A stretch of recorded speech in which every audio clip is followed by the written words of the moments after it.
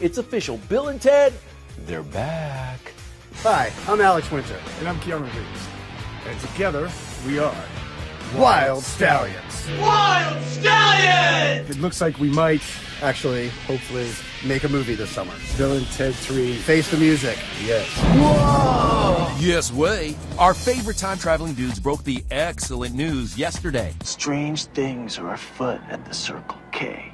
So here's what we know the movie arrives over 30 years after the original and goes into production in New Orleans this summer with an August 2020 release date. Party on, dudes! It's being written by the same guys who wrote the first two, so expect plenty of bodacious humor. Excellent!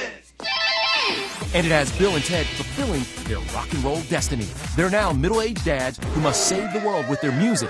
We can also tell you there'll be some cameos by a few music legends. You are going to have the most excellent adventure through history.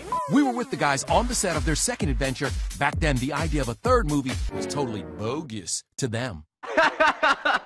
Three, two, one. So, what changed their minds? It is all because of you guys, and so we owe you a huge debt of gratitude, and we wanted to say thank you. Thank you. And be excellent. Be excellent.